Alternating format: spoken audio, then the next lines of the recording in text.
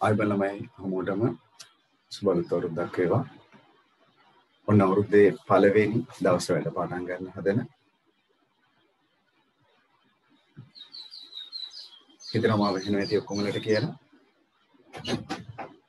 ගොඩක් කට්ටිය ඇවිල්ලා නැහැ මට පේන විදියට පන්තියට කමක් නැහැ ආපු කට්ටියත් එක එක පැතිවල ඇති දැන් සමහර කට්ටිය පතර ගමේ ඇති සමහර කට්ටිය නෝරෙලියේ ඇති කොහොමරි මන්තයට සම්බන්ධ වීම ගැන සතුටුයි. හරි අද දවසේ අපි ආරම්භ කරන්න හදන්නේ විජයන්තයේ කොටස යටතේ අපිට පළමු වාරය තුල තව පාඩමක් තිබ්බා. මං හිතුවා අද අන්නේ පාඩම කියලා දෙන්න. ගොඩක් කට්ටිය කිව්වා ගම්වල පොත් අරන් ගියේ නැහැ. ට්‍රිප් යනකොට පොත් අරන් ආවේ නැහැ. ඒ නිසා හෝම්වර්ක් එක අද මම බලන්න නැතුව ඉන්න හිතුවා. ඒ කිව්වේ විපද ප්‍රකාශන වල ගණ අයිතේ එක පිටුවක් අපිට තිබ්බ ඉතුරු වෙලා ඒක කරන්න තිබ්බා. මම අද ඒක නොබලා ඉන්නම්. ඒ නිසාද වීජීය භාග කොටස කට්ටියට කියලා දෙන්න. වීජීය භාග කොටස. පොඩි කොටසක් තියෙන අද ඒ නිසා මම හිතුවා අද ඒ ටිකත් අවසන් කළා දාන්න. එතකොට පළමු වාරයට අදාළ පාඩම් අටෙන් හත්වෙනි පාඩම දක්වා එතකොට අපි අවසන් වෙනවා. අටවෙනි පාඩම සුපුරුදු පන්ති කාමරයේදී එතකොට අපිට පටන් ගන්න පුළුවන් වෙයි. ඒ කිව්වේ ජාමිතිය කොටස. එහෙම හොඳයිනේ. නම් මුලින්ම අද විජය භාග ටික කියලා දෙන්නම්. ඒ පාඩම යටතේ මුලින්ම 10 වසර කොටසක් තිබ්බා. 11 වසර කොටසක් තියෙනවා. මුලින්ම 10 වසර කොටසේ තිබ්බ කාරණා ටික ඉස්සෙල්ලා මතක් කරලා ඉන්නවා. ඊට පස්සේ 11 වසර තියෙන පොඩි කොටසක් තියෙනවා. අන්නේ කොටස කියලා දෙන්න. ඇත්තටම 10 වසර කොටසේ තමයි විජය භාගවල වැදගත් කොටස වෙන්නේ. 10 වසර කොටසයි කිව්වේ එකතු කිරීම සහ අඩු කිරීම මේ අවුරුද්දේ අපිට තියෙන ගුණ කිරීම සහ බෙදීම ගැන කතා කරනවා. හොඳයි. මම හිතන්නේ දැන් නම් ඔක්කොම ලැබිලා. ඉවරයි වගේ. හරි එහෙනම් මාතෘකාව ලියන්න දෙන දාලා විජය භාග ඒක තමයි අද ඉස්සලාම කියලා දෙන්න හිතුවේ.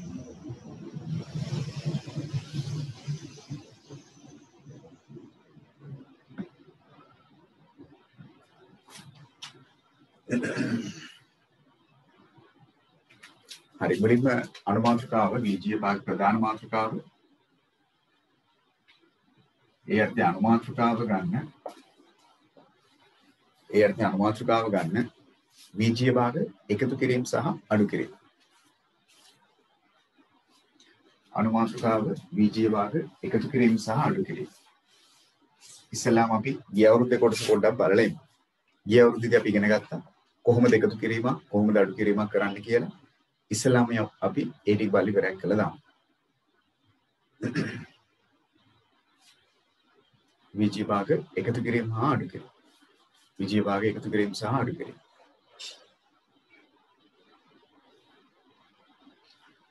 හරි. සාමාන්‍ය භාග එකතු කරද්දී අඩු කරද්දී වගේම විජය භාගත් එකතු කරද්දී අඩු කරද්දී පළවෙනි කාරණේ හරය සමානද කියලා බලන එක.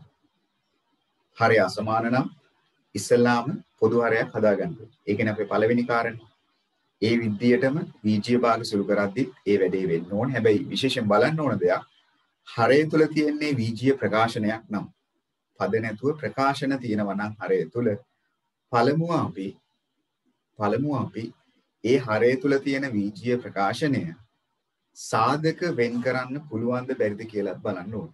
ඒ ටික තමයි 10 වසරේ භාග එකතු කරද්දී අඩු කරද්දී අපි ඉගෙන ගත්ත වැදගත් වූ කාරණේ. එතකොට අපේ සාධක දැනුමත් එතනට අවශ්‍ය වෙනවා. එහෙමනම් හරය තුල විජය ප්‍රකාශ නැත්නම් සාධක වෙන් කරන්න උත්සාහ කරන්න සාධක වෙන් වෙන්නේ නැත්නම් අවුලක් නැහැ. ඊට පස්සේ අපි පොදු හරය හදා ගන්නකොට හරයන් තුල තියෙන එකිනෙකට වෙනස් වූ සාධක සියල්ලම තෝරගන්න ඕනේ. ওই ටික තමයි 10 දී මම ඔයාලට කිව්වේ භාග එකතු කරද්දී අඩු කරන්න. ඒ ටික ඒ විදිහටම මේ අවුරුද්ද තුලත් අවශ්‍යයි. ಗುಣ කිරීම බෙදීම් වලදී ඒ කරදර මුකුත් නැහැ. පොඩ්ඩක් එකතු කිරීම අඩු කිරීම පොඩ්ඩක් මතක් කරන්න ඕනින්ද ඒ ටික මම ඉස්සෙල්ලා කියලා දීලා ඉන්නවා. හරි. මම එක උදාහරණයක් ගත්තොත් භාග දෙකක් එකතු කරගන්න. හිතන්න අපිට තියෙනවා මෙන්න මෙහෙම. දෙක බෙදීම 3x කියන භාගය සහ එක බෙදීම 2x ගේ දෙවෙනි වලය කියලා හිතමුකෝ. ඔය කියන භාග දෙක මට එකතු කරගන්න ඕනේ. ඔය කියන භාග දෙක මම එකතු කරගන්න ඕනේ. එහෙනම් ළමයි අපි පළවෙනියටම වෙන්න ඕන දේ හරය සමානද කියලා බලන එක. හරය අසමානයි මෙතන 3x මෙතන තියෙන 2x ගේ දෙවෙනි බලය. එහෙනම් පළමුව හරය සමාන කරගෙන අපි එන්න ඕනේ පොදු හරයකට. ඒ කියන්නේ මේ හරයන් තුල තියෙන භාග දෙක මේ කියන හරයන් දෙක සලකලා අපි බලන්න ඕනේ මොකද්ද අපි ගන්න ඕනේ පොදු හරය. එහෙම නැත්නම් කුඩාම පොදු ගුණාකාරය වෙන්නේ කවුද කියලා. ඉස්ලාම මෙතන ඉන්න මේ දෙන්නම ඇවිල්ලා ප්‍රකාශන නෙවෙයි පද. මේක 3x මේක 2x ගේ දෙවෙනි බල. මේ ඔක්කොම ඇවිල්ලා පද. එහෙනම් මුලින්ම මේ පද දෙකේ තියෙන සංඛ්‍යා දෙක අරගෙන 3යි 2යි ගත්තොත් 3යි 2යි ගත්තොත් ඒ දෙන්නටම පොදු වෙච්ච හරය 3 සහ 2 ඒ දෙන්නගේ කුඩා පොදු ගුණාකාරය. ඒක 6. හොඳයි. එහෙනම් 3යි 2යි ගත්තොත් ඒ දෙන්නගේ කුඩා පොදු ගුණාකාරය වෙන්නේ 6. ඒක පැහැදිලිනේ. ඒකේ අවුලක් නැහැ. මෙතන ඉන්න x ගේ පළමු බලය මෙතන ඉන්න x ගේ දෙවෙනි බලය. අපි ඒ දෙන්නගෙන් කවුද තෝරගන්නේ? x ගේ පළමු බලය තෝරගන්නවද x ගේ දෙවෙනි බලය තෝරගන්නවද? මතකද ওই කාරණේ? අපි තෝරගන්න ඕනේ එකිනෙකට සමාන වූ සාධක තියෙනවා නම් විශාලතම බලය සහිත සාධකේ. මෙතන ඉන්න x ගේ පළමු බලය මෙතන ඉන්න x ගේ දෙවෙනි බලය. එහෙනම් විශාලතම බලය සහිත සාධකයේ වෙන්නේ x ගේ දෙවෙනි බලය. එහෙනම් ඒ දෙන්න අතරින් අපි ගන්න කුඩා පොදු ගුණාකාරයේ විදියට x ගේ දෙවෙනි බලය. x ගේ දෙවෙනි බලය. හරිද? එහෙනම් දැන් අපිට පුළුවන් ඕන දැන් අපි පොදු හරය හොයාගත්තා. දැන් අපි ඊට පස්සේ මොකද කරේ? හරේ තියෙන ගොඩවල් වලට හොඳින් අහගන්න දැන් හරේ තියෙන ගොඩවල් වලට හරේ තියෙන ගොඩවල් බලනවා. හරේ තියෙන ගොඩවල් වලට හරේ තියෙන ගොඩවල් බලනවා. හරේ තියෙන ගොඩවල් වලට හරේ තියෙන ගොඩවල්. ඉතින් කියමින් එක ගන්න. හරේ තියෙන ගොඩවල් වලට හරේ තියෙන ගොඩවල්. 6ට 3 කැපෙනවා. 6ට 3 කැපෙනවා 2යි. 6ට 3 ගොඩවල් 2යි. මෙතනට 2 තියෙනවා. x ගේ දෙකකට x ගේ එකේ ගොඩවල්. එහෙනම් එකකට එකක් කැපෙනවා තව x ගේ එකක් ඉතිරි වෙනවා. එකක් ඉතිරි වෙනවා. එහෙමනම් ඉතුරු වෙනවා මෙතනින් දෙක සහ x එකක්. එහෙනම් ඒ ඉතුරු වෙන එක වාරයක් අන්නේ ඉතුරු වෙන එක වාරයක් උඩින් ඉන්න කෙනා. ඉතුරු උඩින් ඉන්නේ දෙකනේ. එහෙනම් දෙක වතාවක් ඉතුරු උනේ මෙතනින් 2x. ඉතුරු වෙන එක වාරයක් උඩින් ඉන්න කෙනා. ඒ කියන්නේ ලවයේ තුල ඉන්න කෙනා. ඉතුරු වෙන එක වාරයක් ලවයේ තුල ඉන්න කෙනා. එහෙනම් ආපහු කිව්වොත් හරේ තියෙන ගොඩවල් වලට හරේ තියෙන ගොඩවල් බලනවා.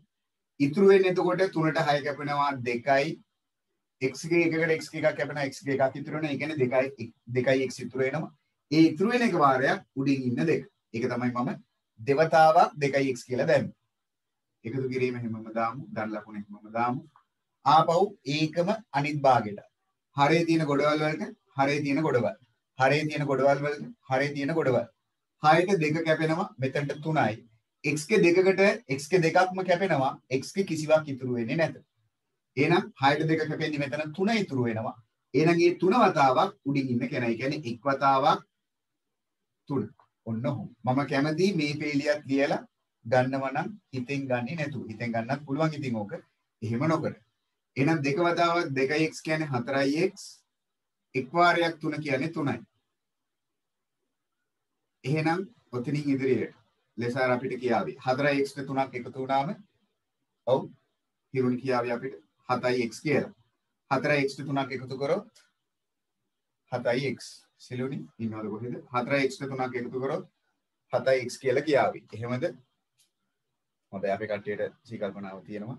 හොඳයි තාම මතකයේ තියෙනවා. එහෙමනම් එකතු කරන්න බැහැයි කියලා. එකතු කරන්න බැහැ විජාතිය පද. එහෙනම් ඔතනින් වැඩේ අවසන්. එහෙම නේද? හරි. එකතු කරන්න බෑ කියලා මතකයි. හරි. එහෙනම් අවුලක් නැහැ. එහෙනම් 4x ධන 3. එතනින්ම වැඩේ ඉවරයි.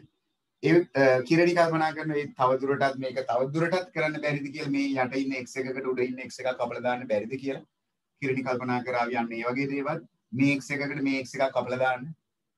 ඔව් තව කවුරු හරි එහෙම කෙනෙක් හිතාවි. එහෙම කරන්නත් විදියක් නැත. එහෙම කරන්නත් විදියක් නැත. හරිද? ওই කරන දේවල් මම මේ ඔයගොල්ලෝ කරන දේවල් මේ කියන්නේ. එහෙම කරන්න බැරි හේතුව ලවයේ තුල තියෙන. ඒ කියන්නේ උඩ ඉන්නේ 4x ධන 3. ඒක ප්‍රකාශනයක්. ඒක වීජීය ප්‍රකාශනයක්. පද දෙකක් තියෙනවා. පහළ ඉන්නේ 6x ගේ දෙවෙනි බලය. එතන පදයක්. ප්‍රකාශනයක් පදයක් එක කපන්න බෑ. ඒ කියන්නේ මෙයාට මෙයාව විතරක් තනිව කපන්න බෑ. කපනවා නම් මෙයාත් එක්ක මෙයා කපන්නත් ඕනේ, මෙයාත් එක්ක මෙයා කපන්නත් ඕනේ. එහෙම දෙයක්. ඒ කියන්නේ පද දෙකම මෙයාගෙන් බෙදෙන්න ඕනේ. එහෙම කරන්න බෑ. එකක් විතරක් බෙදන්න බෑ. ඒ නිසා වැඩේ උතනින් අහවරයි. ප්‍රකාශනයක් තියෙන හින්දා වරහණක් දැම්මොත් කමක් නැහැ. දැම්මයි නැතත් කමක් නැහැ. හරිද? ඒකත් චුට්ටක් හිතන්න. ඒ සාමාන්‍ය භාගිකතු කිරීම දෙකක් ඔන්න මම කිව්වා. ඔන්න මම තව උදාහරණයකට යන්නම්. හිතමු අපිට ලැබුණා මෙහෙම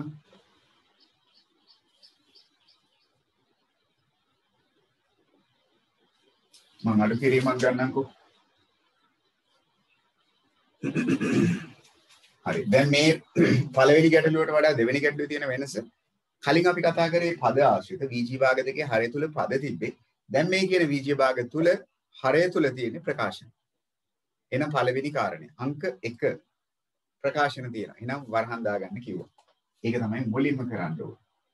දැන් හරය තුල ප්‍රකාශන තියෙන්නේ. හරය තුල ප්‍රකාශන තියෙන්නේ. හරය තුල ප්‍රකාශන තියෙන හින්දා සාධක වෙන් කරන්න පුළුවන් නම් සාධක වෙන් කරන්න බලමු.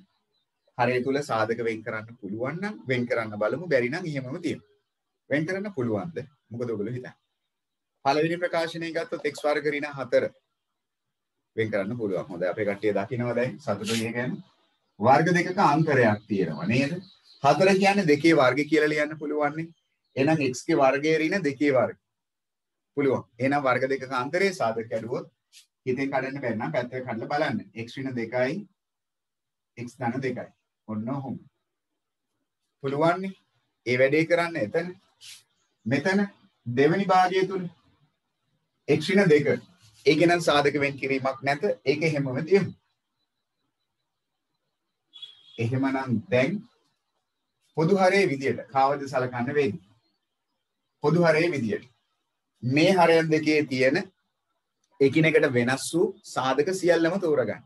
එකිනෙකට වෙනස්. එකම එක දෙපාරක් ගන්න එපා. එකිනෙකට වෙනස් වූ සාධක සියල්ලම තෝරගන්න. එහෙනම් කාවද ගන්න වෙන්නේ? X ඍණ දෙක ඉන්නවා. X ධන දෙකක ඉන්නවා. ආපහු x ඍණ දෙක. ඉතින් එකම එක දෙපාරක් තියෙනවා. එහෙම දෙපාරක් ගන්න ඕනේ නැහැ. එහෙමනම් පොදු හරයේ විදියට අපි කාවද ගන්න ඕනේ? X ඍණ දෙකේ කොටසක් ගන්න පුළුවන්. X ධන දෙකේ කොටසක් ගන්න පුළුවන්. ඔන්න පොදු හරයේ විදියට තෝරන්නේ. දැන් එහෙමනම් ඔන්න දැන් අපි පොදු හරය හොයාගත්තා. හරේ තියෙන ගොඩවල් වලට හරේ තියෙන ගොඩවල්. කලින් කිව්ව කාරණේම තමයි. හරේ තියෙන ගොඩවල් වලට හරේ තියෙන ගොඩවල්. හරේ තියෙන ගොඩවල් වලට හරේ තියෙන ගොඩවල්. එහෙනම් x ඍණ දෙකට x ඍණ දෙකක් කැපෙනවා. x ධන දෙකට x ධන දෙකක් කැපෙනවා. x ඍණ දෙකට x ඍණ දෙකක් x ධන දෙකට x ධන දෙකක් කැපෙනවා. හරය තුල කවුරුත්ම ඉතුරු වෙන්නේ නැද්ද? ඔව් නේද? කවුරුත්ම ඉතුරු වෙන්නේ නැහැ නේද? එක ඉතුරු වෙනවා. අනිවාර්යෙන් එක ඉතුරු වෙනවා. අමතක කරන්න එපා. X ඍණ දෙකට x ඍණ දෙකක් කැපෙනවා. X ධන දෙකට x ධන දෙකක් කැපෙනවා. එක ඉතුරු වෙන. එහෙනම් ඉතුරු වෙන එක වතාවක් උඩින් ඉන්න තුන. එහෙනම් තුන වතාවක් එක. තුන වතාවක් එක. අඩු කිරීම එහෙමම දැම්මා. අඩු කිරීම එහෙමම දැම්මා.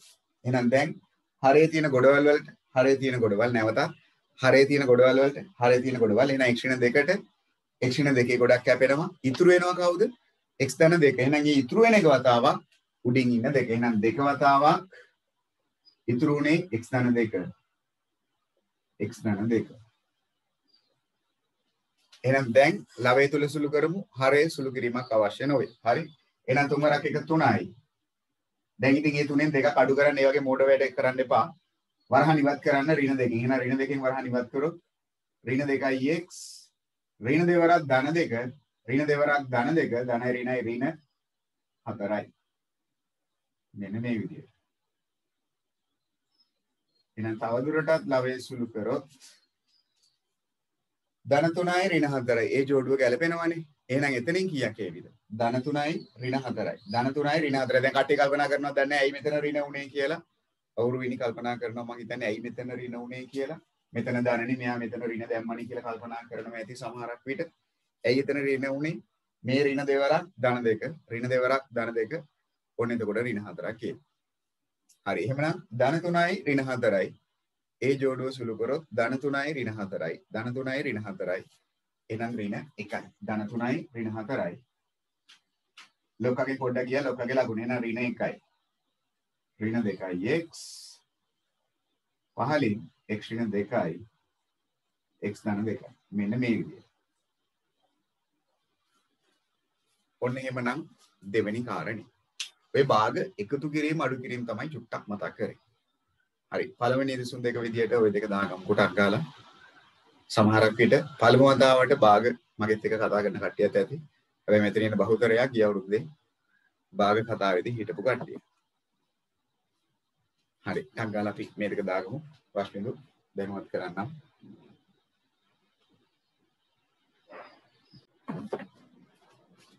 හරි. හිතන්නකෝ අපිට ලැබුණා මෙන්න මෙහෙම.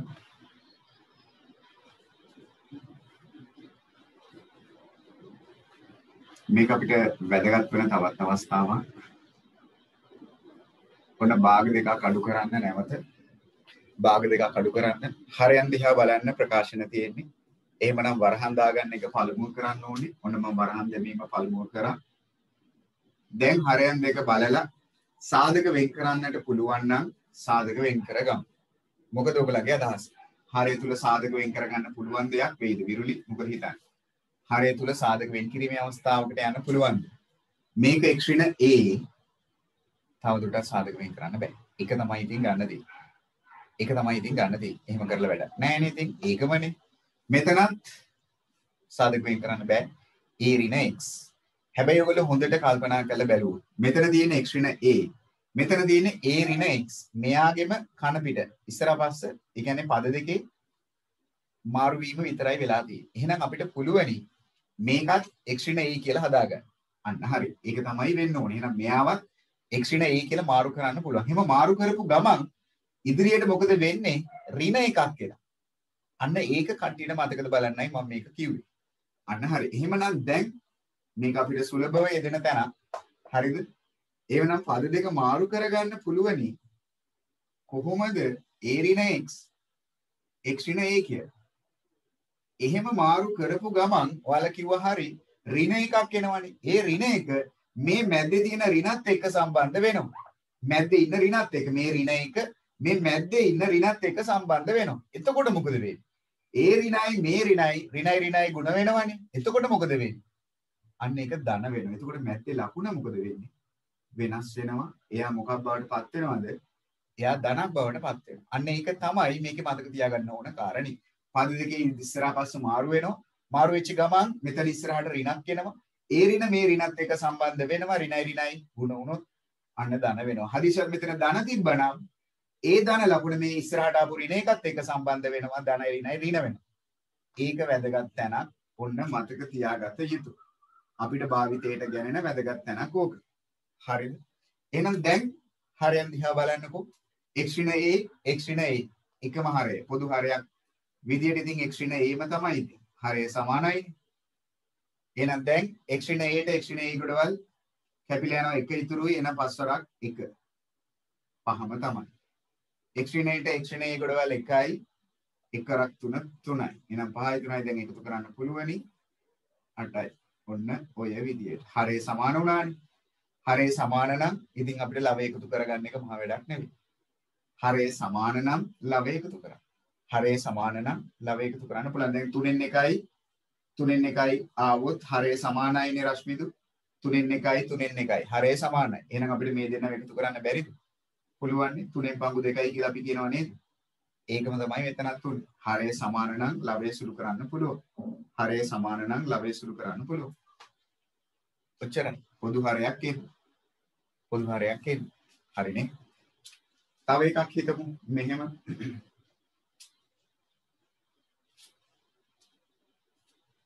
හරි ඔන්න අපිට ලැබෙනවා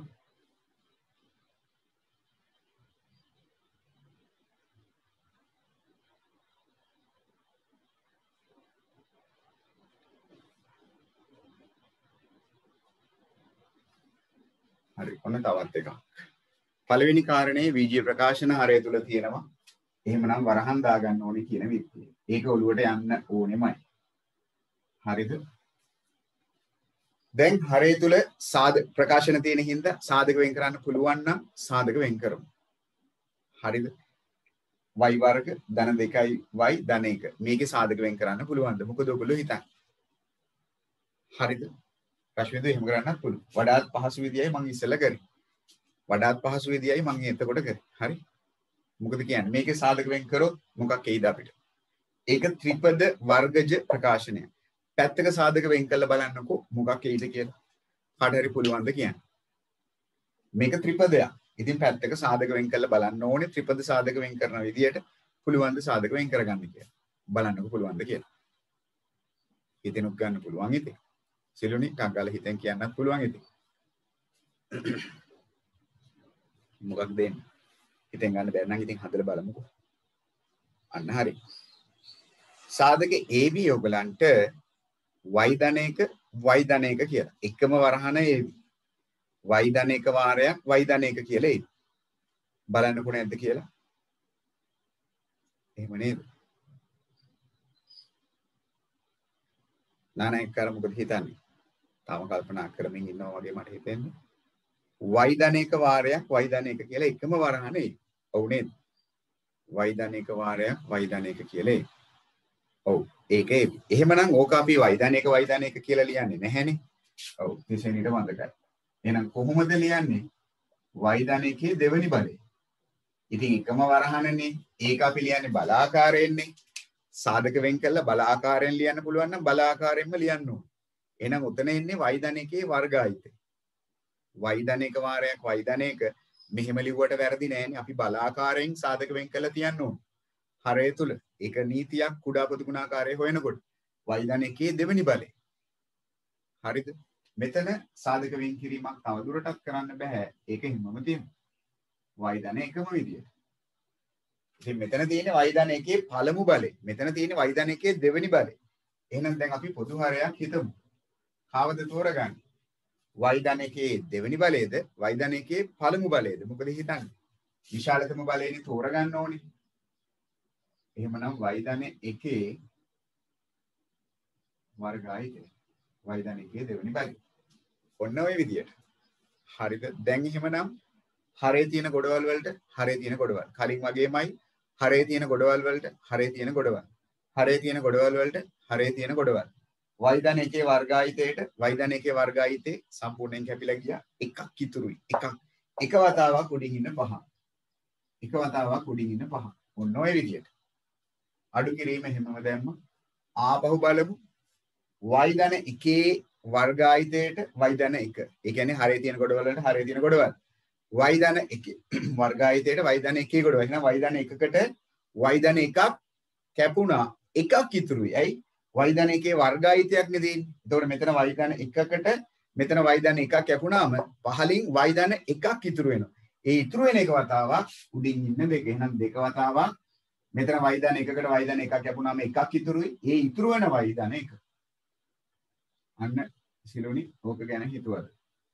ඔන්න ওই විදියට වයිදන එකේ වර්ගායිතයකට වයිදන එක. එතකොට වයිදන එකකට වයිදන එකක් කැපෙනවා. තව එකක් ඉතුරු වෙනවා. ඒ ඉතුරු වෙන එක වාරයක් උඩින් ඉන්න දෙක. දැන් අපි වරහන් ඉවත් කරොත් පසරක් එක පහයි. ඍණ දෙකෙන් වරහන් ඉවත් කරොත් ඍණ දෙකයි y. ඍණ දෙවරක් ධන එක ඔන්න ඕක තමයි මතක වෙන්නේ අපිට. ඍණ දෙකයි. දැන් ඉතින් අපි ලවය සුළු කරගමු. දැන් ඉතින් අපි ලවය සුළු කරගමු. පහෙන් දෙකක් අඩු කරන්න පුළුවනි 3යි. එහෙනම් 3 ඍණ 2යි පහ. හරය තුල y ධන එකේ වර්ගයිද මෙන්න මේ විදිහට. y ධන එකේ වර්ගයිද.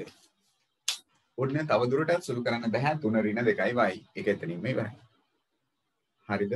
ඔන්න තවත් වීජීය භාග ඇතුළත් අඩු කිරීම දෙකක්. හරි මේ දෙකක් දාගමුකෝ. ඉන් පස්සේ තනිම අවස්ථාවක් දීලා බලන්නම් ඔයාලට. තාම මේ කතා කරමින් ඉන්නේ 10 වසර කොටස. එකතු කිරීම අඩු කිරීම සම්බන්ධයෙන්.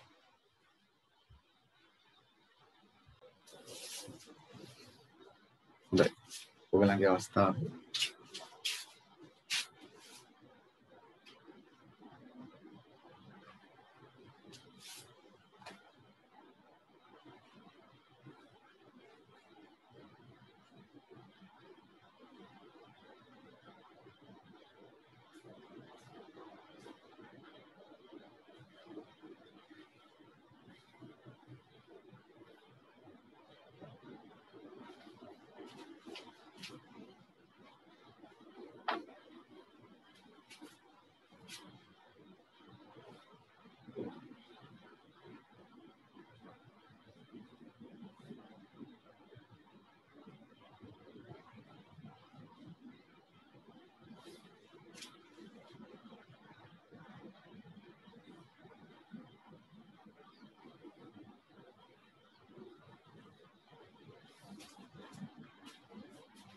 හරි මේ දෙක බලමු උත්සාහයක් කරලා ප්‍රකාශන තියෙනවා නම් වරහන් දාගන්න. ওই කාරණා ටික ඔළුවේ තියාගන්න බලමු මේ උදාහරණ දෙක.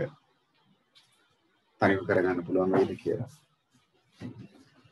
භාග තුනක් තියෙදි කලබල වෙන්න එපා. භාග තුනම පොදු වන හරය හදාගන්න. භාග තුනටම පොදු වන හරය.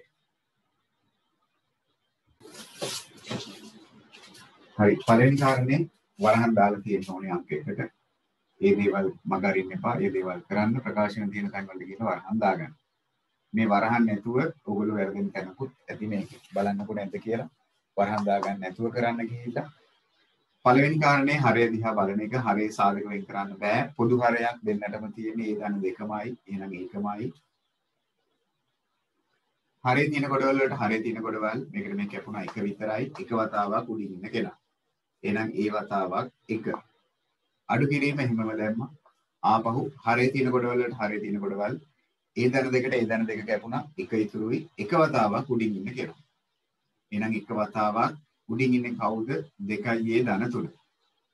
ඔන්න බලන්නකො වරහන් නැති හින්දා වැරදෙන හැටි. ඒ ගුණ කිරීම එක ඒම තමයි. ඍණ එකෙන් වරහන් ඉවත් කරොත් ඍණ එක් වරක් දෙක ඍණ දෙකයි ඒ. ඍණ එක් වරක් ධන තුන ඍණ එක් වරක් ධන තුන ඍණයි ධනයි ඍණ. මෙන්න මේ විදිහ එහෙනම් ඉතින් දැන් මොකොත් වෙනසක් වෙන්නේ නැද්ද බලන්නකෝ. මේ දෙන්නව ගැලපෙනවා ධන එකයි ඍණ දෙකයි. ලොක්කගේ පොඩ්ඩ අඩු කරා ලොක්කගේ ලකුණ. එහෙනම් ඍණ එකයි ඒ ඍණ තුන. පහලින් ඒ ධන දෙක. තවදුරටත් සුළු කිරීමක් නැත. ඔන්න උත්තරේ ඍණ ඒ ඍණ තුන බෙදීම ඒ ධන දෙක. හොඳයි. කරලා තියෙනවා. සතුටුදායකයි ගොඩක් කට්ටිය යහපු උත්තරේ මේක තමයි. ඔව් මේක තමයි ගොඩක් කට්ටිය යහපු උත්තරේ. ඔව් කවිෂා මම හිතනවා හරියද කියලා. මෙන්න කාරණේ. හරිද බලන්නකෝ. විරාජ් නිසුනි මොකද අපේ හරිද? ඔක තමයි ඇවිල්ලා තියෙන උත්තරේ.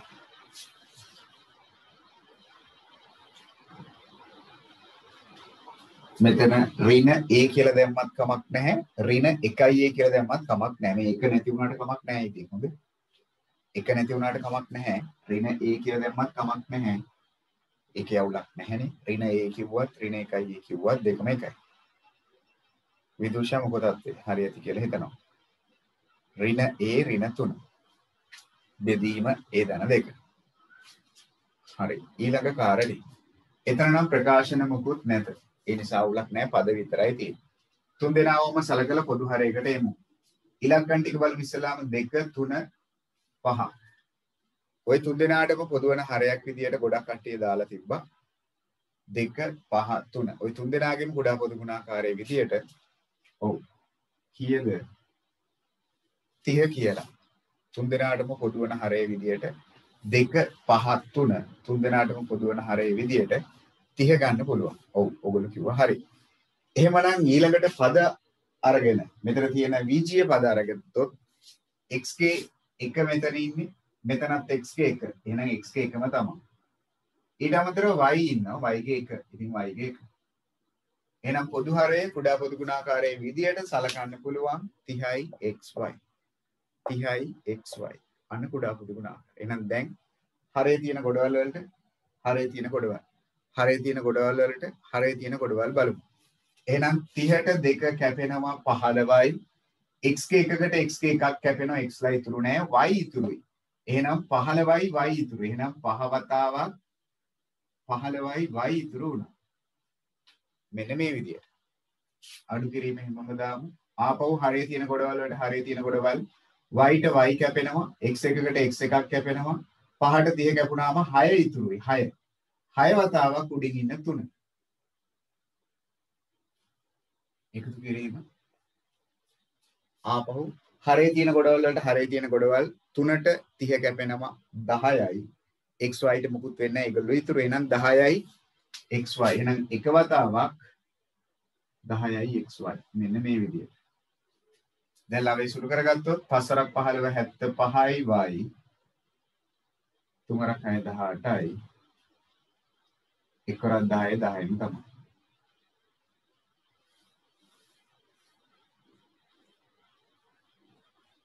මෙන්න මේ විදිහට. ඒ උත්තරේ දැක්ක ගොඩක් අය දාලා තිබ්බා. 75යි y ඍණ 18 75යි y ඍණ 18 ධන 10යි xy. මේ පද තුනෙන් කුඩා පද ගුණාකාරය වෙන්නේ 30යි xy. X ගේ වර්ගයක් කොතනවත් නැහැනේ රශ්මිදු. එහෙනම් x ගේ පළමු බලය තමයි විශාලතම බලය. මෙතන තියෙන්නේ x ගේ පළමු බලය, මෙතන තියෙන්නේ x ගේ පළමු බලය. හොඳයි දෙන්නේ. ඒකත් හරියි.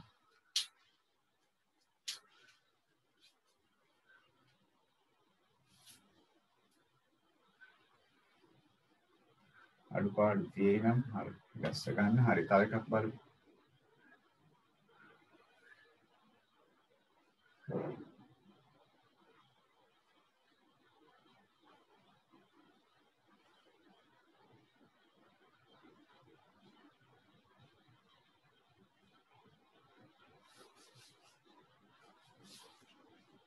මේකත් බලමු.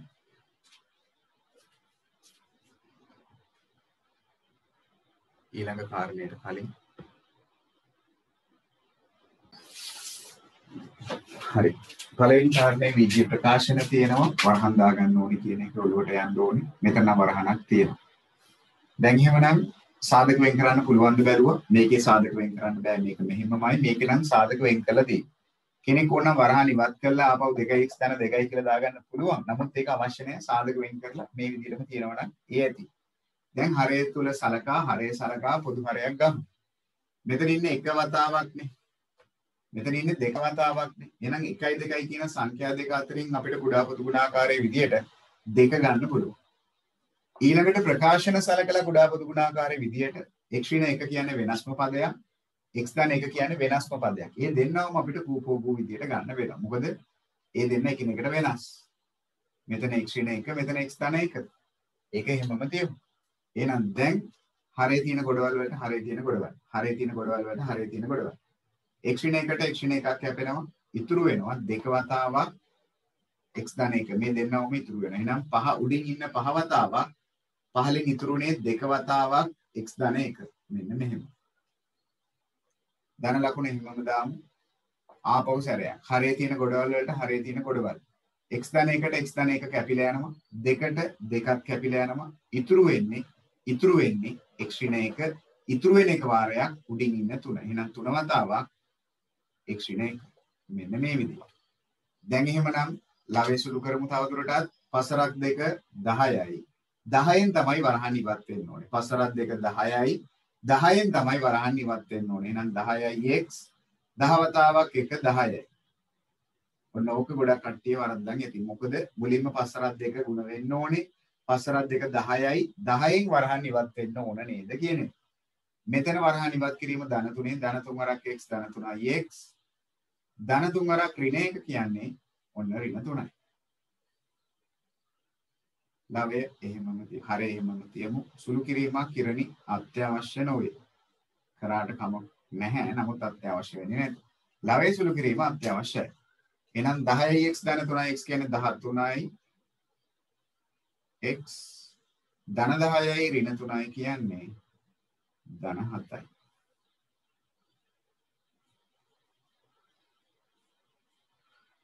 මෙන්න පිළිතුර.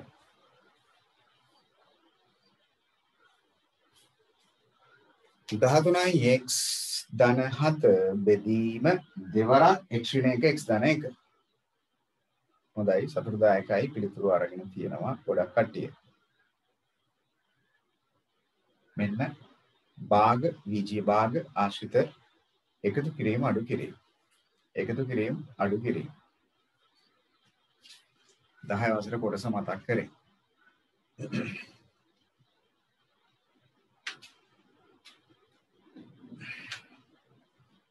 අඩුපාඩුවක් වුණා නම් එතන හරි ගස්ස ගන්න. ගොඩක් විට පස්සරක් දෙක 10යි කියන කාරණේදී ඔයගොල්ලෝ වරද්දගෙන ඇති. නිකම්ම දෙකෙන් විතරක් වරහන් ඉවත් කරලා ඇති සමහරක් කට්ටිය. ඒ නිසා යම් අඩුපාඩුවක් වෙලත් ඇති. පෙරේරා හරි නේද? දියාන මොකද අපේ හරිද?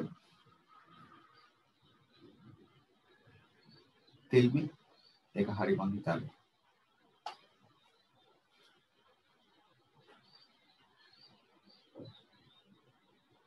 තිසඟ එහෙම කරන්න බැහැ තිසඟ මෙතන තියෙන x දාන එක මෙතන තියෙන x ඍණ එක අපිට පුළුවන් පද දෙකක ඉස්සරහා පස්ස මාරු කිරීම විතරයි එහෙම නැතුව මෙතන ලකුණ වෙනස් කරන්න කවදාවත් අයිතියක් නැහැ තිසඟ අදහස් කරනවා මෙතන x ඍණ එක නම් අපිට මෙතනත් ඍණ ලකුණක් කියලා මෙතන ලකුණ වෙනස් කරලා හදන්න බැරිද කියලා එහෙම කරන්න නම් බෑයි කවදාවත් ඒ වගේ වැඩක් කරන්න බෑ මැද්දේ තියෙන ලකුණ වෙනස් කරන්න මේ ප්‍රකාශනවල මැද්දේ තියෙන ලකුණ වෙනස් කරන්න බෑ කරන්න පුළුවන් එකම දේ ඉස්සරහා පස්ස මාරු කරන එක විතරයි. x ඍණ එක එක ඍණ x කියලා ලියන්න පුළුවන්. එහෙම කරන්න පුළුවන්. ඒ වුණාට මැද්දේ ලකුණ වෙනස් කරන්න අයිතියක් නැත. ඒක තමයි මම හිතන්නේ තිසඟගේ ප්‍රශ්නේ.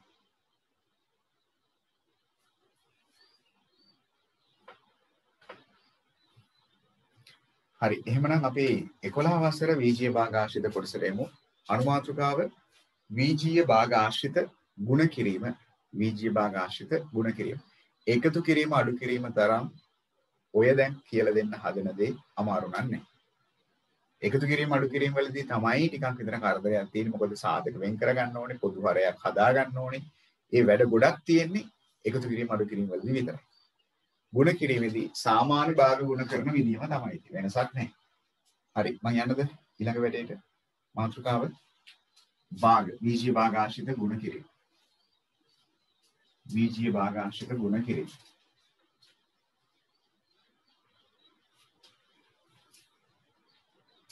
බලන්නකො ඇත්තටම මේක කතා කරපු ගණන් වලට වඩා සරල නැද්ද කියලා. හරි අපිට ලැබෙනවා කියලා හිතමු මෙහෙම.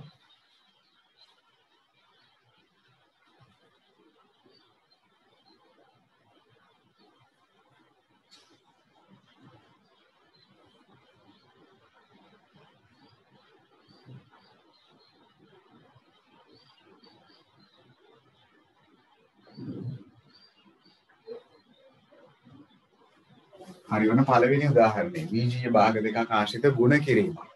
සාමාන්‍ය භාග ගුණ කරද්දී අපි පොදු හරයක් ගත්තද නැහැනි.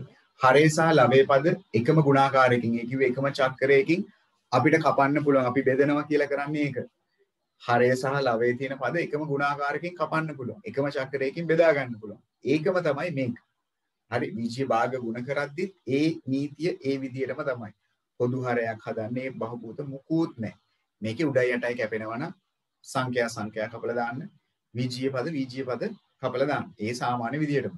හැබැයි මතක තියාගන්න අපි අර එකම ගුණාකාරකයෙන් බෙදද්දී කියන්නේ අර අපි කපනකොට විජීය පද විජීය පදත් එක්ක පූර්ණ සංඛ්‍යා පූර්ණ සංඛ්‍යා එක්ක විජීය ප්‍රකාශන තිබ්බොත් ඒවායේ වරහන් දාලා සාධක වෙන් කරන්න පුළුවන් නම් සාධක වෙන් කරගෙන ඒ ටික කරගෙන ඉන්න ඕනේ. එහෙම නැතුව ප්‍රකාශනයක් පදයක් එක කපන්න ඒව කරන්න බෑ. පූර්ණ සංඛ්‍යාවක් පූර්ණ සංඛ්‍යාවක් එක්ක. විජීය පදයක් විජීය පදයක් එක්ක. විජීය ප්‍රකාශනයක් විජීය ප්‍රකාශනයක් එක්ක. අන්න ඕක තමයි ඔයගොල්ලෝ පටලවල කරගන්නේ. ඕක සීකල්පනාවෙන් කරොත් මේක හරි සරලයි. මේක එකම ගුණාකාරකින් කපද්දී අර මම අර කිව්ව එකම ගුණාකාරකින් කපද්දී අපි උඩ යටයි කපනවා කියලා පූර්ණ සංඛ්‍යා පූර්ණ සංඛ්‍යා විජීය පද විජීය පද. විජීය ප්‍රකාශන විජීය ප්‍රකාශන. විජීය ප්‍රකාශන තියෙනකොට වරහන් දැමීම අනිවාර්යෙන් කරන්න. සාධක වෙන් කරන්න පුළුවන් නම් කපන්න කලින් ඔක්කොටම කලින් සාධක වෙන් කරගෙන ඊට පස්සේ තමයි කැපිල්ලට යන්න ඕනේ. හරිද? ඔන්න බලන්න පළවෙනි එක. ප්‍රකාශන මුකුත් නැහැ. පද විතරයි තියෙන්නේ. මේක 12යි b වර්ග 5යි a 4යි b 15යි a. ඔක්කොම පද. ඉස්සෙල්ලා පූර්ණ පූර්ණ විජීය පද විජීය පද. එහෙම කරමු. පූර්ණ සංඛ්‍යා පූර්ණ සංඛ්‍යා කපන්න පුළුවන් ඒවා කපලා දාමු. සාමාන්‍ය භාග සුළු කිරීම. 12යි 4යි කපන්න පුළුවන් 12ට 4 වරක් 3යි. 4ට 4 වරක් 1යි. 5ට 5 වරක් 1යි. 15ට 5 වරක් 3යි. ඔන්න පූර්ණ පූර්ණ කැපුවා. දැන් විජීය පද විජීය පද. ඒගේ එකක් තියෙනවා මෙතනත් ඒගේ දෙකක් තියෙනවා. එහෙනම් ඒගේ එකකට ඒගේ එකක් කැපෙනවා. තව එකක් ඉතුරු වෙනවා. තව එකක් ඉතුරු වෙනවා. A ගේ එකක් ඉතුරු වෙනවා. B ගේ එකකට B ගේ එකක් කැපෙනවා. තව B ගේ එකක් ඉතුරු වෙනවා. ඔච්චරයි. දැන් ලවයන් වැඩි කරලා ලවයට දාමු. හරයන් වැඩි කරලා හරයට දාමු. එච්චරයි. එහෙනම් මෙතනින් එක මෙතනින් තියෙන්නේ එකම තමයි. එහෙනම් එක්වරක් එක එකයි. හරය සැලකුවොත්. තුන ඉන්නවා මෙතනත් තුන ඉන්නවා. එහෙනම් තුන් වරක් තුන 9යි. 6යි නෙවෙයි 9යි. මෙතනින් b එකක් කියනවා මෙතනින් a එකක් කියනවා. එහෙනම් b ගුණ කිරීම a b a නෙවෙයි. ඇතුළට ගෙවඩ එකට ab මෙන්න මෙච්චරයි කරන්න තියෙන්නේ. එක වේලියෙන් වැඩේ කරන්න පුළුවන්. එක වේලියයි යන්නේ. මහා ලොකු වැඩක් නෙවෙයි ඒකතු කිරීම අඩු කිරීම තරම් මේකේ කරදර අඩුයි. එහෙම නේද බලන්නකෝ. ඔච්චරයි කරන්න තියෙන්නේ.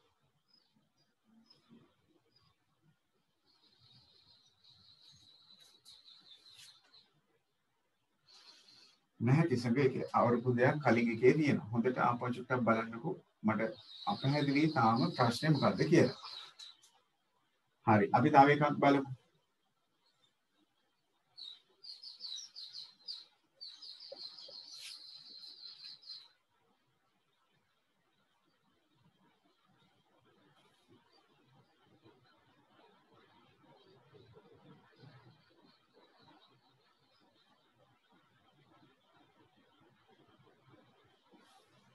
ඔන්න මම තවත් එකක්.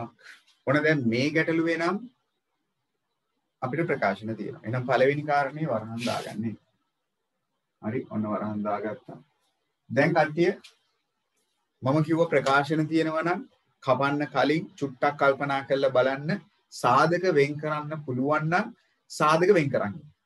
ප්‍රකාශන තියෙනකොට අන්නේ කාරණේ ඔළුවේ තියාගන්න. සාධක වෙන් කරන්න පුළුවන් නම් සාධක වෙන් කරන්න. පුළුවන් නේද? මෙයාව දැක්ක ගමන් දැන් ඔයගලන්ට මතක් වෙන්න ඕනේ ඉතින්. මේවා පොඩි වැඩ. ඔව් සාධක වෙන් කරන්න පුළුවන්. එතකන් අනිත් ඒවා මුකුත් කරන්න එපා. ඒක එහෙමම තියන්න. සාධක වෙන් කරන් ඉන්න. එහෙනම් මොකද්ද වෙන් කරන්න පුළුවන්? වර්ග දෙකක අන්තරය. 9 කියන්නේ 3 වර්ගය. එහෙනම් සාධක වෙන් කරන්න පුළුවන් x ඍණ 3යි x ධන 3යි විදියට. ඔන්න ඔහොම. වෙන ඉතින් මෙයාගේ සාධක වෙන් කිරීමක් නම් කරන්න බෑ. ඒක එහෙමමයි. එහෙනම් දැන් අපි කට්ටිය කල්පනා කරමු. දැන් ඉතින් සාධක වෙන් කරලා ඉවරයි. දැන් කැපිල්ල දාමු. විජය පද විජය පදත් එක්ක පූර්ණ සංඛ්‍යා පූර්ණ සංඛ්‍යාත් එක්ක ප්‍රකාශන ප්‍රකාශනත් එක්ක. මොකද කියන්නේ? දැන් මොකද කියන්නේ? සාමාන්‍ය අපි භාග සුළු කරපු විදිය භාග ගුණ කිරීම කරපු විදිය. එහෙනම් පූර්ණ සංඛ්‍යා කපලෙමු 3යි 12යි ඉන්නවනේ. 3ට 1යි 12ට 3 කොටවල් 4යි x ගේ එකකට x ගේ එකක් කැපෙනවා. එකක් ඉතුරු වෙනවා. එකක් ඉතුරු වෙනවා. ප්‍රකාශන ප්‍රකාශන. ඉගැන කුට්ටේ පිටින් කපන්න. එක් ධන තුනට එක් ධන තුනේ ගොඩවල් එකක්. එක් ධන තුනට එක් ධන තුන දැක්කද? ප්‍රකාශනයක් ප්‍රකාශනයක් එක්ක. ප්‍රකාශනයක් ප්‍රකාශනයක් එක්ක. පූර්ණ සංඛ්‍යාවක් පූර්ණ සංඛ්‍යාවක් එක්ක. වීජීය පදයක් වීජීය පදයක් එක්ක. අන්තිමට ඉතුරු වෙන ඔච්චරයි ඉතුරු වෙන්නේ. එහෙනම් ඉතුරු වෙන්නේ උඩින් මෙතනින් එක මෙතනින් තියෙන්නේ ඉතින් එකනේ. එකරක් එක එකයි. හරය තුල ගත්තොත් එක්ෂණ තුනක් ඉන්නවා මෙතනින්. මෙතනින් 4 සහ x ඉන්නවා. විජය පද මුලට ගමු 4x මුලට ගමු. ප්‍රකාශනයේ දෙවෙනියට ලියමු. මෙන්න මේ විදිහට. ඔන්න උත්තරේ. මොකද කියන්නේ එකතු කිරීම අඩු කිරීමද ලේසි, ಗುಣ කිරීමද ලේසි. හිතන විදිහට. එකතු කිරීම අඩු කිරීමද ಗುಣ කිරීමද ලේසි.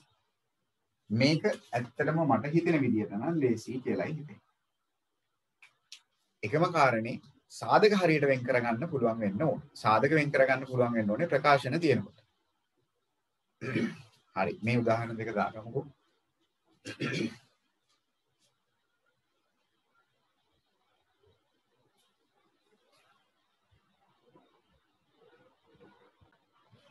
හරි කට්ටිය try එකක් දෙමුද බලන්න මේක පුළුවන්ද කියලා.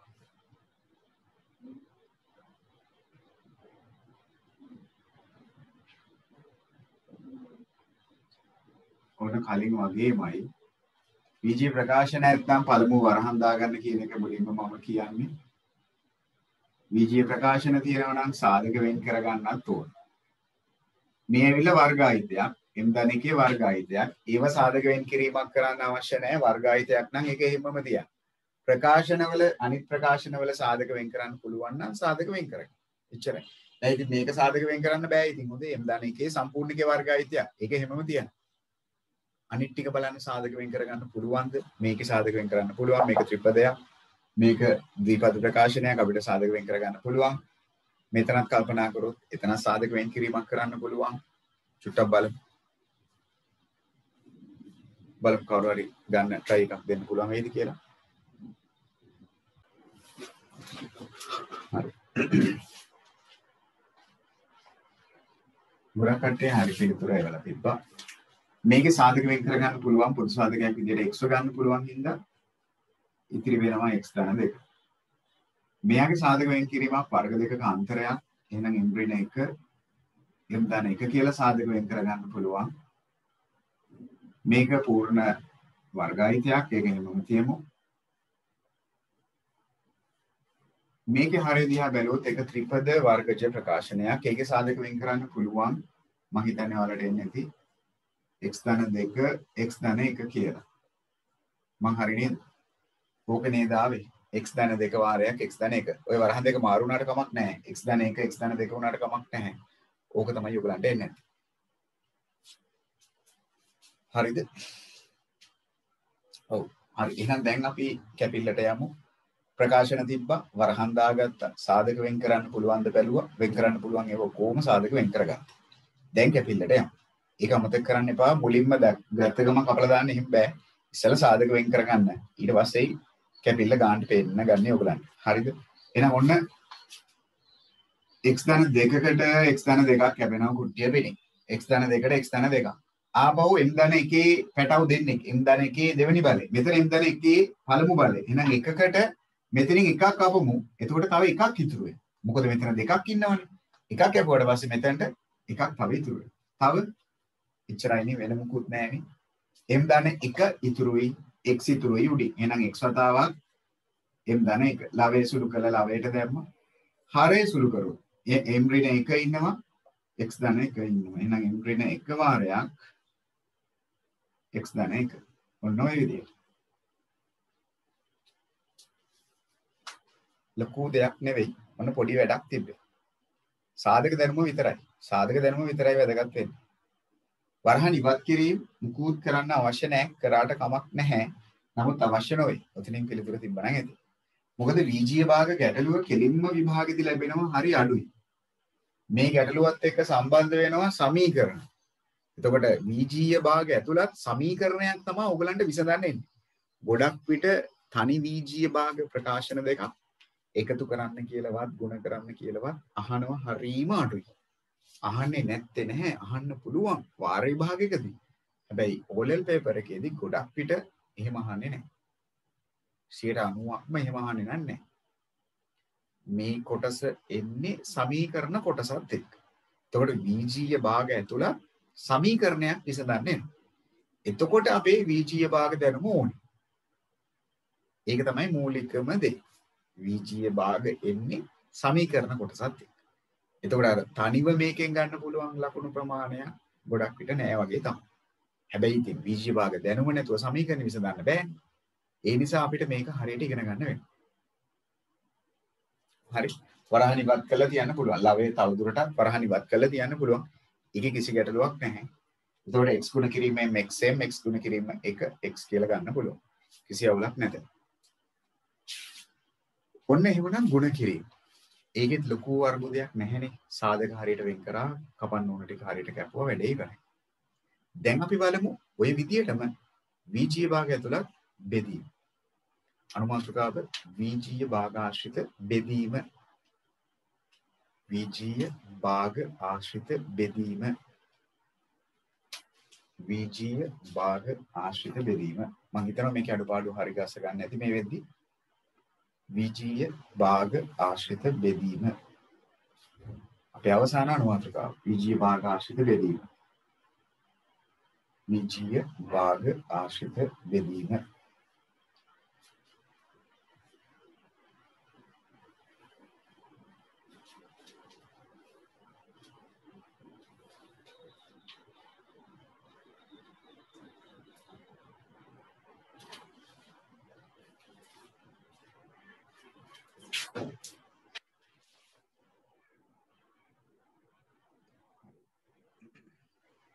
සාමාන්‍ය භාග බෙදීමේදී කරන නීතියම තමයි වීජී භාග බෙදීමේදීත් අපිට තියෙන්නේ. සාමාන්‍ය භාග බෙදීමේදී අපිට තියෙන නීතියම තමයි වීජී භාග ආශ්‍රිතවත් තියෙන්නේ කතා කරන්නේ. හරි මොන මම ගත්තොත් උදාහරණයක්. පහ බෙදීම A බෙදීම 25 බෙදීම A ගේ වර්ගය. පළවෙනි දේ සාමාන්‍ය භාගවලදී අපි මොකද කරන්නේ? බෙදීමක් දැක්ක ගමන් බෙදීම ලකුණ ගුණ කිරීමක් බවට පත් කරනවා. බෙදීමක් දැක ගමන් බෙදීම ලකුණ ගුණ කිරීමක් බවට පත් කරනවා. ඒකට හිලව් වෙන්න දකුණු පස තියෙන භාගය දකුණු පස තියෙන භාගයේ පරස්පරය ගන්න. ඒ කියන්නේ උඩයට මාරු කරනවා. ඒකමයි මෙතන. එහෙනම් බෙදීමක් දැක ගමන් ඔක්කොටම කලින් මේ බෙදීමේ ලකුණ ගුණ කිරීමක් කරනවා. ඒකට හිලව් වෙන්න උඩයට මාරු කරන්න දකුණු පැත්තේ. සාමාන්‍ය භාගවලදීත් එහෙමනේ. ඒකමයි ඉතින් මෙතන. ඔච්චරයි ඉතින් අනේ කරන්න තියෙන්නේ. ඔතනින් එහාට මොකක්ද? සාමාන්‍ය අපි කලින් කතා කරපු භාග ගුණ කිරීම. විජී භාග ගුණ කිරීම. ඔච්චරයි ඉතින් අමුතු වැඩක් විදියට තියෙන්නේ. එහෙනම් මොකද කරන්න තියෙන්නේ? පද පද පූර්ණ පූර්ණ. හරි ඒවා අමතක කරන්න එපා. එහෙනම් පහේ ප්‍රකාශන මුකුත් නැහැනේ. සාධක වෙන් කරන්න දෙයක් නැහැනේ. පාඩ පහේ කොටවල් 1යි, 20 පාඩ පහේ කොටවල් 5යි. ඒගේ එකකට ඒගේ එකක් කැපෙනවා එකක් ඉතුරු. එකක් ඉතුරු. එහෙනම් උඩින් එක් වරක් ඒ එකක් ඉතුරු. පහලින් මෙතන එක් වරක් පහක්. පහයි. මෙන්න සුළුගේ. ලොකු දෙයක් නැහැනේ. මම හිතනවා කට්ටියට පැහැදිලි වුණා කියලා.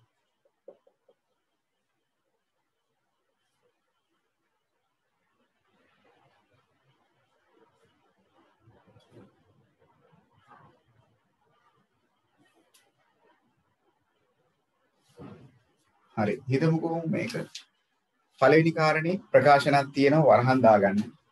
ඒක නම් අමතක කරන්න එපා. දැන් ඉතින් බෙදීමක් ඇදී ටක් ගාලා බෙදීම ලකුණ ಗುಣ කිරීම බවට පත් කරන්න. සාධක වෙන් කිරීම මුකුත් හිතන්න එපා ඉස්සෙල්ලා. අපි ගණිත කර්මය වෙනස් කරගමු. බෙදීම ಗುಣ කිරීමක් කරමු. ඒකට හිලාව වෙන්න උඩයට මාරු කරමු. AB උඩට යනවා. A ඍණ B පල්ලෙහාට යනවා. මෙන්න මේ විදිහට. එහෙනම් දැන් සාධක වෙන් කරන්න පුළුවන් නම් සාධක වෙන් කරගමු. මොකද හිතෙන්නේ? මෙයාගේ සාධක වෙන් කරන්න පුළුවන්. A ඍණ B A ධන B. නැවතත් කියනවා ඔක්කොටම කලින් බෙදීම ಗುಣ කිරීම කරලා උඩයට මාරු කරලා ඉන්න. හරි. AB මුකුත් කරන්න බෑ. A ඍණ B ගේ සාධක වෙන් කිරීමක් මුකුත් බෑ. දැන් අපේ කට්ටිය මොකද හිතන්නේ? දැන් මොකද හිතන්නේ? මෙතනින් ඉදිරියට. ඔව්. ඔතනින් ඉදිරියට. දැන් සිලුනි කල්පනා කරනවා ඒරින B එකක් තියෙනවා මෙතනත් ඒරින B එකක් තියෙනවා ඒරින Bට ඒරින B කපලා දාමු කියලා. රොවිනිත් කල්පනා කරන ඕනේ ඒරින Bට ඒරින B එකක් කපලා දාමු. එහෙම කරાવી නැත්තේ නෑ එහෙම කරાવી. එහෙම කරાવી. ඇයි ඒරින B එකක් මෙතනක් තියෙනවා ඒරින B එකක් මෙතනක් තියෙනවා මෙයාට මෙයා කපලා දාමු. මොකද කියන්නේ? පොදු හරයන් ගන්න ඕනේද? නැහැනේ. එකතු කිරීම අඩු කිරීම නෙවෙයිනේ. එතකොට පොදු හරයක් ගන්න අවශ්‍ය නැහැ. මොකද කියන්නේ කැපෙනවද කියන්නකො මේකේ? ඒකකට ඒකක් එහෙම කපන්න පුළුවන්ද? උඩයි උඩයි කපන්න පුළුවන්ද? එහෙම කැපුවේ නෑනේ අපි භාග ගුණ කරද්දි. උඩ තියෙන එකකට යට තියෙන එකක් නේ කැපෙන්නේ. දැන් ඕගොල්ලෝ ඔක කරાવી. එහෙම කපන්න බෑ. හරිද? එහෙම කපන්න බෑ. ඒක කරાવી කියලා හිතලයි ඔන්න මං කිව්වේ ඒත් එක්කම තව කට්ටියක් මේකේ සාධක වෙන් කරලා මෙහෙමම කපාවි. ඒරින බීට මෙතනත් ඒරින බී කැපෙනවා කියලා කපාවි. එහෙම කරන්නත් බෑ. ඇයි බෙදීමක් නෙදී. බෙදීම තියදී කොහොමද කපන්නේ? බෙදීම තියදී කපන්න බෑ. ඒ නිසා තමයි මම කිව්වේ ඔක්කොටම කලින් බෙදීම ගුණ කිරීම කරන්න. උඩයට මාරු කරන්න. ඔය ඔක්කොම දේවල් අමතක වෙයි. ඒකයි මම කිව්වේ බෙදීම තියදී මුකුත් කරන්න එපා. ඉස්සෙල්ලා බෙදීම ලකුණ ගුණ කිරීමක් කරන්න. ඒකට හිලව් වෙන උඩයට මාරු කරගන්න. ඒ ටික කරලා ඉවර වෙලා සාධක වෙන් වෙනවා නම් සාධක වෙන් කරගන්න ඊට පස්සේ කැපිල්ලට යන්න. දැන් මේක බැලද්දි කවුරුත්ම කැපෙන්නේ උඩ යටයි නෙවෙයිනේ තියෙන්නේ. එහෙනම් කපන්න තිබ්බා. එහෙනම් දැන් උඩ දෙන්නවයි ගුණ කළා උඩට දාම එහෙනම් ඒගේ වර්ගයේ ගුණ කිරීම AB. එතකොට ඒගේ වර්ගයක් මෙතන ඒගේ එකක් ඉන්නවා. ගුණ කරද්දි බලය එකතු වෙනවා. එහෙනම් ඒකේ 3යි B ගේ එකයි. ඔන්න ලවයන් ගුණ කරා. ඒ විදිහටම හරයන් ගුණ කරොත් ඒ විදිහටම හරයන් ගුණ කළොත් ඒ ඍණ B ඒ ධන B වතාවක් ඒ ඍණ B. ඒ ඍණ B ඒ ඍණ B වරහන් දෙකක් තියෙනවා එහෙනම් ඒ ඍණ B ගේ වර්ග ආයිතේ. ඊට අමතරව ඒ ධන B මෙන්න මේ ඒ ඍණ B ගෙම පැටව් දෙන්නෙක් නේ. ඒ නිසා ඒ ඍණ B ගේ දෙවෙනි බරයි. ඒ ධන B ගේ පැටව් එක්කෙනයි. එහෙනම් ඒ ධන B ගේ පළමු බරයි. ඔච්චරයි ඉතින් කරන්න තියෙන්නේ. කැපෙන්නේ නැත්තම් දැන් හැමදෙස්සම ඔයගොල්ලෝ ඊළඟට හිතනවා අනිවාර්යෙන් මේක කැපෙනවා කියලා. එහෙම දෙයක් නෑ කැපෙන්නේ නැති අවස්ථාවක් වෙනවා. එහෙම આવොත් ලවයන් ගුණ කරලා ලවයට දාන්න, හරයන් ගුණ කරලා හරයට දාන්න. හරිද? ඔන්න භාග වීජී භාගාශ්‍රිත බෙදීමක් කරගන්න විදිය. ලෙසාර වැඩේ මම හිතනවා පැහැදිලි ඇති කියලා. මේ නිදසුන් දෙක දාගමුකෝ ටක් ගාලා.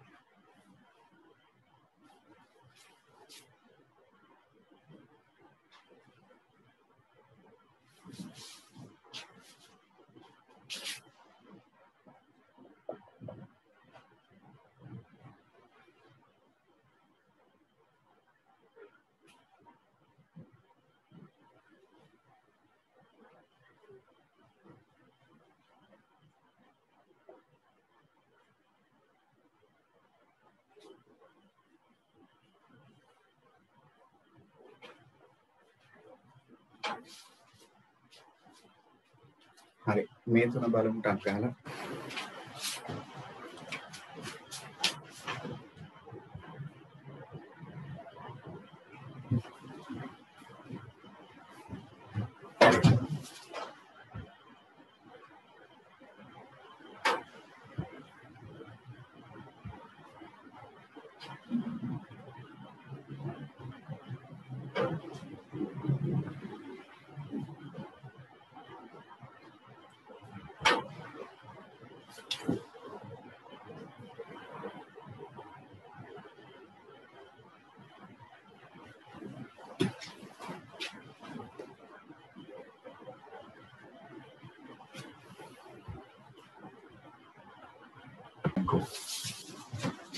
පළවෙනි කාරණේ. ඔක්කොමල වගේ පළවෙනි එක නම් හරි උත්තරේ ඒවල තිබ්බ. පළවෙනි එක හරි ප්‍රකාශන මුකුත් නැහැ. ඒ නිසා වැඩි ලේසි.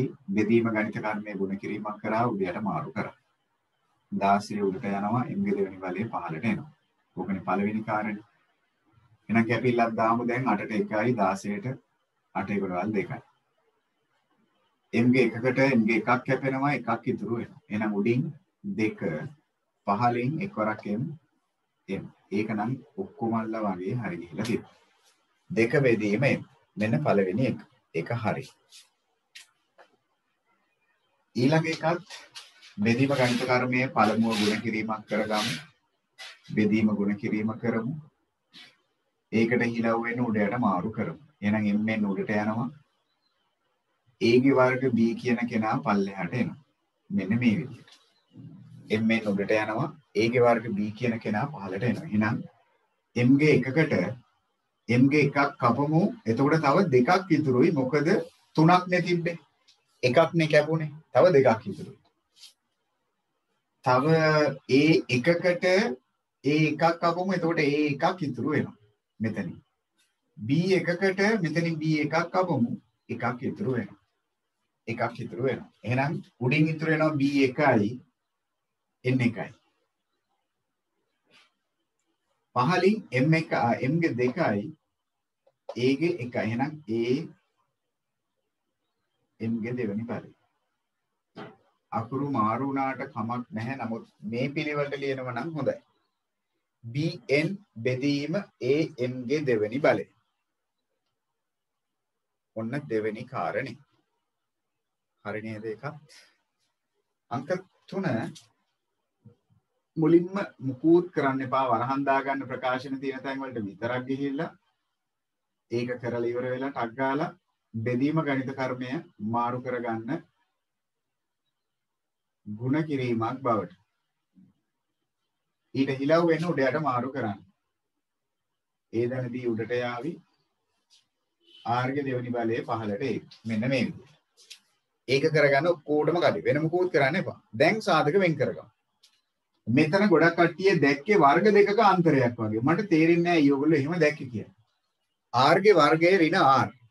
එතන වර්ග දෙකක අන්තරයක් දාන්න බැහැ ළමයි. එතන වර්ග දෙකක් දෙපැත්තෙම නැහැනේ. මෙතන තියෙන්නේ r ගේ දෙවෙනි බලය මෙතන තියෙන්නේ ඍණ r. එතන කරන්න පුළුවන් පොදු සාධක වෙන් කිරීමක්. දැන් දෙකටම r පොදුයි. r ගත්ත එළියට. එහෙනම් මෙතනින් r එකක් ඉතුරුයි මෙතනින් කවුරුත් ඉතුරු වෙන්නේ නැත්තේ නෑ එකක් ඉතුරු. එහෙනම් ඔන්න එතන සාධක වෙන් කරා. හරය තුල සාධක දැක්කොත් පොදු සාධකයක් විදිහට දෙක ඉතුරු වෙනවා වරහන් ඇතුලේ A ධන B. ඔන්න ඔය විදිහට. මෙතනින් ගත්තොත් A ධන B ගේ තවදුරටත් සාධක වෙන් කරන්න බැහැනේ. ඒක එහෙමමයි. R ගේ වර්ගය ඒක ප්‍රකාශනයක් නෙවෙයිනේ. ඒක එහෙමම තිබ්බා. දැන් බලන්නකො කැපිල්ල දාන්න බැරිද කියලා. A ධන B එකකට කුට්ටිය පිටින් A ධන B එකක් කැපුණා. මෙතන R එකක් මෙතන ආර්ග දෙකක්. වීජීය පද වීජීය පද සුළු කරන්න පුළුවන් කිව්වනේ. පද පද පුළුවන්. එහෙනම් ආර්ග එකකට මෙතනින් ආර්ග එකක් කැපෙනවා එකක් ඉතුරු වෙනවා. එකක් ඉතුරු වෙනවා. එහෙනම් උඩින් ඉතුරු වෙන්නේ ආරින 1 පහලින් ඉතුරු වෙනවා 2 ඊට අමතරව r මෙන්න උත්තරේ. මම හිතනවා දැන් කට්ටියට අපහැදිලි වෙච්ච තැන පැහැදිලි වෙන්නේ නැති කියලා. ඕගොල්ලෝ ගොඩක් විට R ගේ වර්ගයේ ඍණ R ගේ සාධක වෙන් කරලා තිබ්බ වැරදි. ඒ නිසායි ගොඩක් කට්ටියට ඒක වැරදුනේ. එතන තමයි අර්බුදය තිබ්බේ.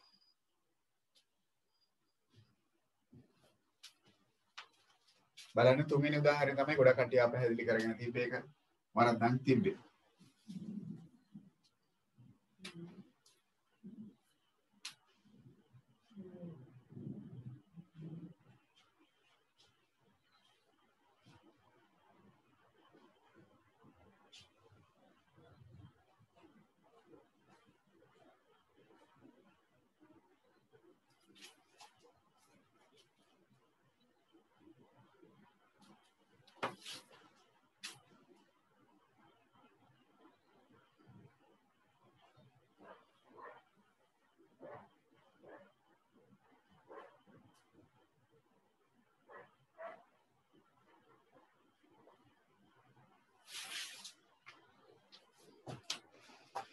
හරි. අවසාන වශයෙන් මේක බලමු හරියට කරයිද කියලා ඕන. දැන් ප්‍රකාශනම තියෙනවා. බෙදීමක් තියෙනවා. වරහන් දාගන්න අවශ්‍යයි. බෙදීම ගණිත කර්මයේ ගුණ කිරීමක් කරන්න අවශ්‍යයි. ත්‍රිපද තියෙනවා. ත්‍රිපද වර්ගජ ප්‍රකාශන සාධක වෙන් කිරීමක් කරන්න අවශ්‍යයි. ඔව්. අඳුන්. ඒක තමයි ගොඩක් කට්ටිය දකින්නේ නැති තැන. ඒක තමයි කලින් උදාහරණේ වැරදින්නේ ගොඩක් අයට.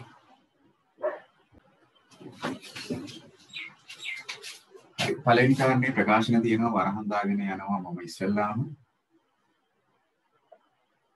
ඊට පස්සේ බෙදීමක් තියෙනවා. එහෙනම් මේ බෙදීම ಗುಣ කිරීමක් කරන එක තමයි මගේ පළවෙනි වැඩේ.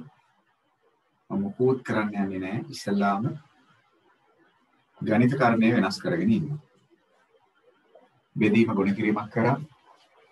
ඊට හිලව් වෙන උඩයට මාරු වුණා.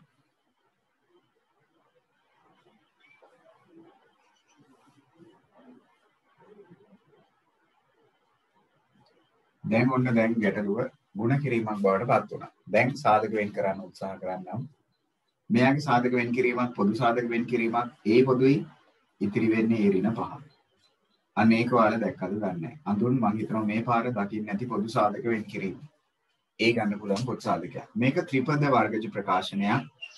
මේකේ ඔයාලා සාධක කැඩුවොත් ඔයාලට එන්නේ නැති ඒ ඍණ පහ ඒ ධන 1 එහෙම නැත්නම් ඒ ධන 1 ඒ ඍණ 5 වරහන් දෙක මාරු වුණාට කමක් නැහැ. මේක ආවද බලන්න. ඒ ඍණ 5 වාරයක් ඒ ධන 1 එහෙම නැත්නම් ඒ ධන 1 වාරයක් ඒ ඍණ 5 මාරු වුණාට කමක් නැත. මං හරි නේද? ඒක තමයි ඔයගලන්ට ත්‍රිපද සාධක එන්න ඕනේ. එතන. වැරද්දක් වෙලාද මං කියතින් නෑ නේද? ඒක තමයි එතන එන්න ඕනේ ඔයගලන්ට ත්‍රිපද සාධක. ඊට පස්සේ මේක ත්‍රිපදයක් ඒක සාධක වෙන් කරොත් ඔයගලන්ට එවි ඒ ධන 1 ඒ ධන 1 කියලා. ඒ කියන්නේ ඉතින් ඒ ධන 1 වර්ගායිතය. ඒ ධන 1ේම පැටව දෙන්නෙක් ඒවි. වෙන යම් විදියකින් ඒ ධන 1 වර්ගායිතය. එහෙම නේද? මේක සාධක වෙන් කරොත් ත්‍රිපදයක් ඕගලන්ට ඒවි ඒ ඍණ දෙක ඒ ධන එක කියලා. බලන්න එහෙමද කියලා. මම ත්‍රිපද සාධක වෙන් කිරීම ටික කරලා තියෙනවා හරිද බලන්න. මම කරලා තියෙන ත්‍රිපද සාධක වෙන් කිරීම ටික හරිද බලන්න. ඔතනට වෙනකම් මේ ත්‍රිපද සාධක වෙන් කරගන්න ගිහිල්ලා වැරදුනොත් ඉතින් ගානම වර්ධිනවා. ඔක තමයි අවුලක් කරගත්තොත් ඉතින් ඔයගොල්ලෝ අවුලක් කරගන්න. එතනින් පස්සේ ඉතින් කැපිල්ලට යමු බලන්න. උඩයි යටයි උඩයි යටයි කපන්න පුළුවන්. එහෙමනම් ඔයගොල්ලෝ දකින්න ඕනේ ඔන්න කුට්ටිය පිටින් කැපෙන අවස්ථාවක් ඒ ඍණ පහ මෙතනත් ඒ ඍණ පහ. ඒ ඍණ පහ මෙතනත් ඒ ඍණ පහ. උඩයි යටයි ඔන්න ඒ ඍණ පහට ඒ ඍණ පහ කුට්ටිය පිටින් කැපුවා. ඒ ඍණ පහට ඒ ඍණ පහක් ඔන්න කැපුවා. ඊළඟට ඒ දන එකක් මෙතන ඒ දන එකකට කැපුවා. ඔන්න තව එකක් ඉතුරු වෙනවා. ආපහු සැරයක් උඩයි යටයි තියෙනවා මේ. ඔයගොල්ලෝ දැක්කේ නැහැ ඒක. ඒ දන එකකට ඔන්න තවත් ඒ දන එකක් කපලා දැන්. ඒකත් ඉවරයි. එහෙනම් උඩින් ඉතුරු වෙනවා A අනිත් ඔක්කොම වරහන් කැපිලා උඩ. පහලින් ඉතුරු වෙනවා මේ වරහන ඉවරයි මේකත් ඉවරයි මේකත් ඉවරයි පහලින් එකක් ඉතුරු. ඒ ඍණ දෙක. මෙන්න අවසාන පිළිතුර. බලන්නකෝ කොතනද අර්බුදය තියෙන්නේ කියලා. ඔච්චරයි ඉතින් කරන්න තියෙන්නේ. ඔන්න වීජය භාග බෙදීම. ඔන්න වීජය භාග බෙදීම. ලොකු කතාවක් නැහැ. පොඩි කාරණයක් තිබ්බේ ඉතින්. හරි. එහෙනම් වැරදීමක්. හරි. එහෙම ලෙස අර මගේ වැරදීමක්. හරි. එහෙනම් හරි.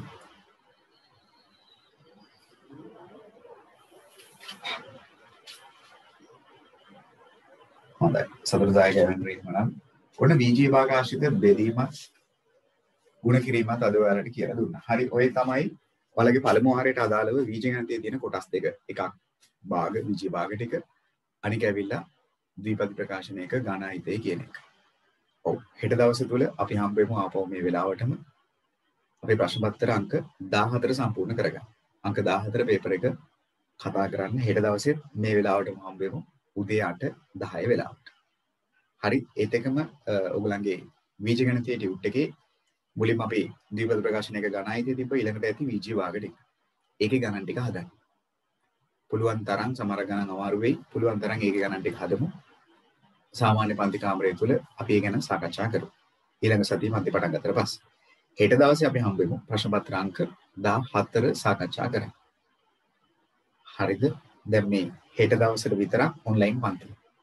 හෙට දවසට විතරක් මම දැන් අපි අවසාන ඔන්ලයින් පන්තිය වේවි කියලා අපි ප්‍රාර්ථනා කරමු.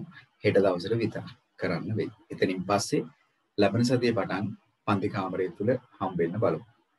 මම හිතනවා අවුලක් වෙන එකක් නෑ. අපිට හම්බෙන්න පුළුවන් වෙයි. හරි එහෙනම් හෙට දවසේ 8 වෙදී ලෑස්ති වෙන්න. ප්‍රශ්න පත්‍ර අංක 14 සම්පූර්ණ කළා තියන්න. හරිද එහෙනම් වැඩේ අදට මෙතනින් නතර කරන්නම්. කරුණාකර විජේ භාග ටිකක් එතනින් පස්සේ කරන්න පටන් ගන්න. ටියුට් එකේ ගණන් ටික. හරි එහෙනම් අයිබෝන් ඔක්කොමලට හම්බෙමු නැවත හෙට. පරිස්සමෙන් ඉන්න උත්සාහයක් ඔක්කොමලට.